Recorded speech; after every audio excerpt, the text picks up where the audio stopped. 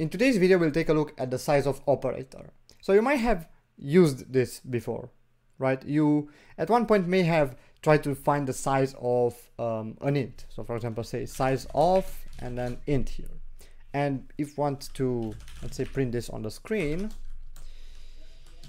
just like so, if we run this, you'll notice I'm going to get four. So what does size of do? Basically returns the number of bytes in a certain type. Now you might also know that instead of int here you can use really anything. So I can here for example I can define an a here which is I don't know give the value of 5 and say size of a. And that would be the same thing as saying size of the type of a. So you'll notice I still get 4 here right? Now a few things that people get wrong with size of is uh, the format specifier when printing it on the screen. This guy size of A returns a value of type size t, right? If it's a size t, that is usually a 64-bit unsigned integer. So you should use either percent %LLU or ZU, right? So I'm gonna use percent %LLU for this case, and it's gonna work the same way here because, well, that that's fine. But with really large uh, numbers, it might not print perfectly on the screen, right? We are no longer actually converting this into a 32-bit uh, integer because of percent %d. So just to keep that in mind. Another cool thing about size of is that it works really well with arrays. So if I have here, for example, uh, int array, I'm gonna, I don't know, initialize it with some values here, 3, 9, and 10, let's say.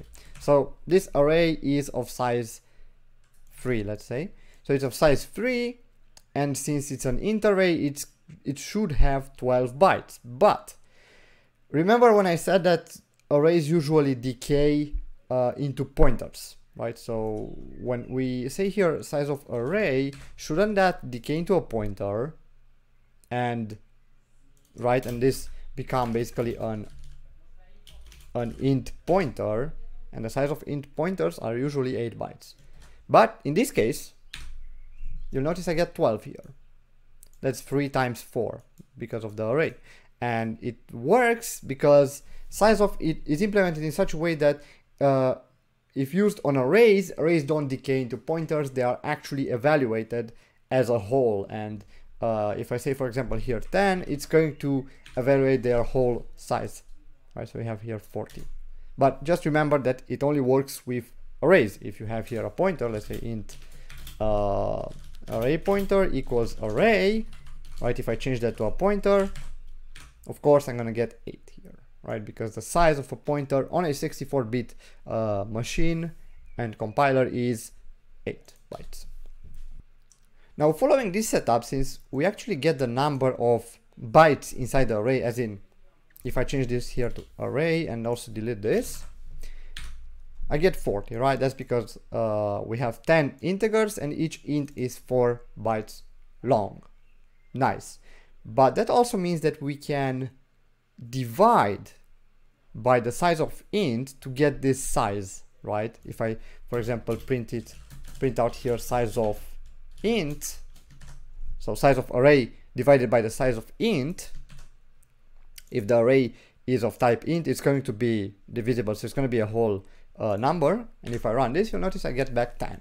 So this is a very nice way to get the number of elements inside an array. Just get the size of array and divide it by uh, the number of bytes inside an element of that array. So doing this, if I change this uh, here to, let's say 50, then I don't have to actually change any code so that we print on the screen the, the number of elements on the in the inside the array right you can also define maybe a uh, have a define here size or number of elements really number of elements elements let's say here 50 and that could also work nicely right but if you don't really want to deal with uh, defines like this you might want to use this setup and one last weird thing that I've seen being asked around uh, various uh, programming groups is this structure size of size of int.